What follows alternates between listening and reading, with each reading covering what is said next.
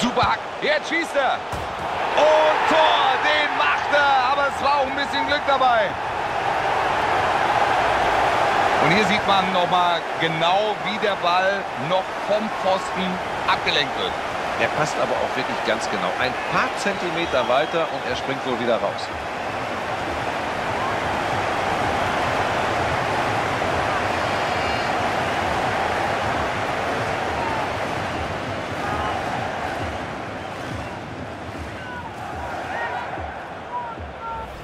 Jetzt steht es 2 zu 0. Das dürfte ihn ruhen.